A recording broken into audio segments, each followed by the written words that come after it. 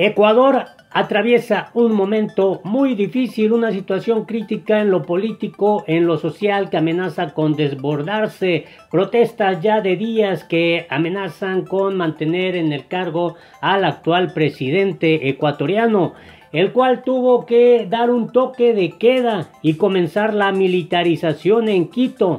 Entérate de esta situación que está viviendo el país sudamericano.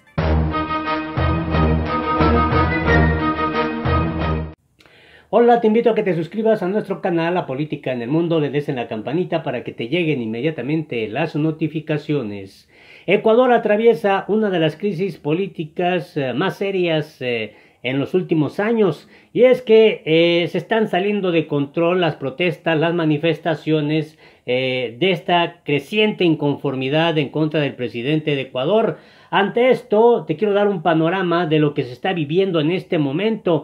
Las eh, protestas se han vuelto ya violentas, se han salido prácticamente de control en gran parte del país de Ecuador. Es por eso que el presidente de esa nación impuso ya el toque de queda y también sacó al ejército eh, prácticamente a las calles en Quito, la capital de Ecuador. El presidente ecuatoriano Lenin Moreno endureció en Quito el estado de excepción nacional que había impuesto desde el pasado 3 de octubre y bajo el cual movilizó a las Fuerzas Armadas con la intención de contener las movilizaciones en contra de ajustes eh, económicos pactados con el Fondo Monetario Internacional.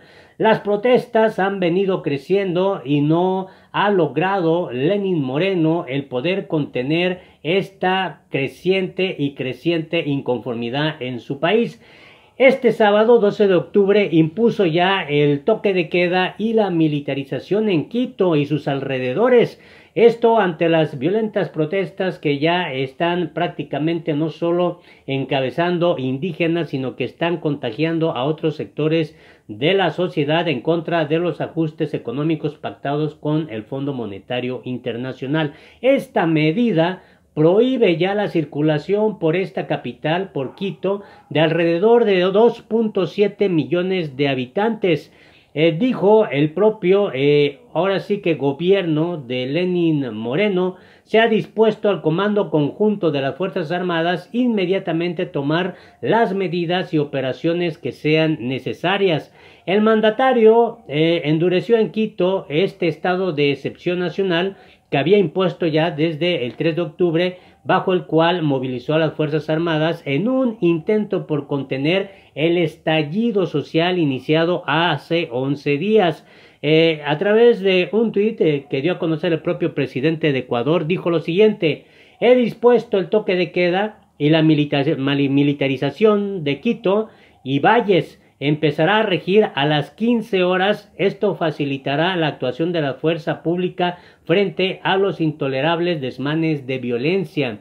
Amparados en estas eh, facultades que en un principio permiten restringir algunos derechos por 30 días, ya había dispuesto el toque de queda nocturno alrededor de los edificios públicos de la capital, es decir, Ecuador atraviesa una situación verdaderamente compleja para el presidente de esa nación. La drástica medida siguió al anuncio del movimiento indígena de aceptar el diálogo directo propuesto por el mandatario para buscar una salida a la severa crisis eh, en medio de nuevos eh, y cada vez más violentos focos de violencia. Este sábado las manifestaciones derivaron en el asalto al edificio de la Contraloría que fue incendiado y saqueado por manifestantes encapuchados, la sede quedó envuelta en una especie espesa humareda.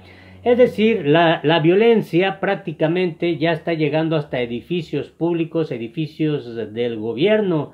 Y llama mucho la atención que cerca de ahí, de este suceso, de este suceso en los alrededores de la Asamblea Legislativa, manifestantes indígenas levantaron barricadas con troncos y escudos de madera para enfrentarse a policías que lanzaron una lluvia de gas lacrimógeno, según lo eh, que han informado agencias de noticias internacional. La fuerza pública reforzó el control en esa zona tras el breve asalto del Congreso el pasado martes por manifestantes.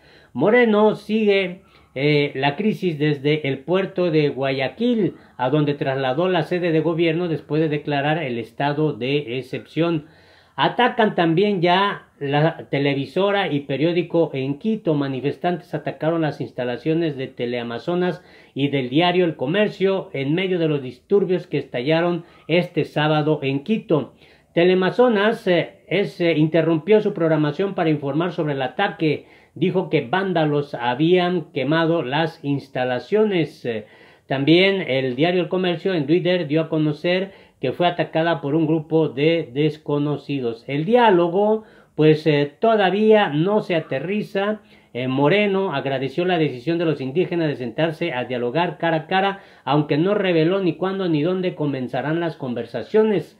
El presidente de Ecuador insistió, sin embargo, en que restablecerá el orden en todo Ecuador y decretó la militarización completa de Quito cuando miles de manifestantes estaban en la calle. El gobierno dio un plazo de media hora para que los indígenas que protestan eh, se concentraran en un coliseo y centro de acogida en universidades. Desde que estallaron las manifestaciones han muerto seis civiles y se registran 2.100 heridos y detenidos según el más reciente balance de la Defensoría del Pueblo.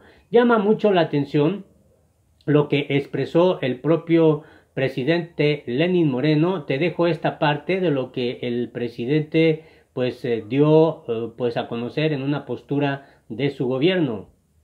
Envío este mensaje a la dirigencia de las organizaciones indígenas y a sus bases. Es indispensable frenar la violencia. Hay que encontrar soluciones para los temas del país y sobre todo del campo. Hago un llamado a los dirigentes a dialogar directamente conmigo. Lo repito, hago un llamado a los dirigentes a dialogar directamente conmigo. Sentémonos, sentémonos para conversar, dialogar sobre el decreto 883. Hablemos de a dónde deben dirigirse sus recursos y asegurémonos de que vayan a quienes más lo necesitan. Pongamos en nuestras manos la solución de las diferencias. El país debe recuperar la calma. Que el país sepa que tenemos la voluntad del diálogo. Pues aquí está la mía.